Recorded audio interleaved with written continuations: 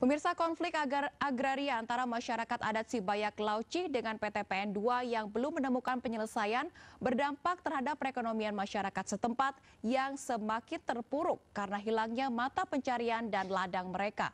Bertambahnya jumlah masyarakat miskin pun tidak dapat dielakkan jika PT PN 2 tidak segera mengembalikan tanah milik masyarakat.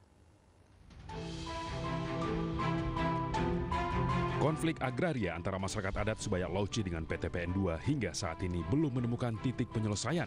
Konflik ini pun mulai berdampak terhadap perekonomian masyarakat setempat yang semakin terpuruk karena hilangnya mata pencarian dan ladang mereka. Ironisnya, pihak PT PN2 yang telah mengeksekusi tanah masyarakat kini kembali melakukan pembiaran terhadap lahan yang telah diratakan dengan tanah tersebut. Bertambahnya jumlah masyarakat miskin pun tidak dapat dielakkan jika PT PN2 tidak segera mengembalikan tanah milik masyarakat. Kami menderita makan ubi, nggak ada lagi apa pun kami makan, Pak. Anak sekolah kami ada yang kelas 6 masuk SMP tahun ini, nggak bisa kami lagi sekolahkan sedikit pun. Sedih kali menengoknya. Linda Ria Boru Sembiring merupakan salah satu dari ratusan keluarga yang dipaksa miskin karena kehilangan ladang tempat mereka mencari nafkah. Tinggal di gubuk bersama anak-anak dan suaminya, Linda Ria bersama warga lain berusaha untuk menanam kembali ladang yang telah diratakan PT PN 2. Sekarang kami ulangi lagi. Kami ulangi lagi tanam kalau karena sudah didoser semua. Apa yang dialami masyarakat Subayak Lauci ini belum mendapat perhatian serius dari pemerintah setempat.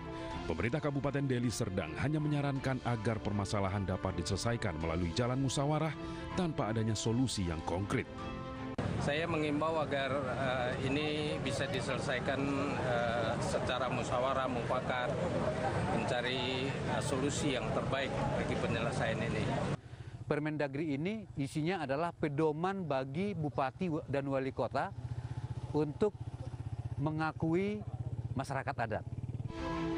Kemiskinan makin di depan mata, namun perjuangan masyarakat adat Subaya Locih masih panjang dan butuh pengorbanan untuk merebut kembali hak wilayah mereka yang telah dikuasai secara paksa oleh PT PN2. Sebagai masyarakat adat mereka masih punya hak dong untuk itu gitu. Jadi eh, bagi saya harusnya pemerintah daerah itu berani dan tegas untuk eh, memberikan itu kepada masyarakat gitu loh. Tim Liputan MNC Media melaporkan.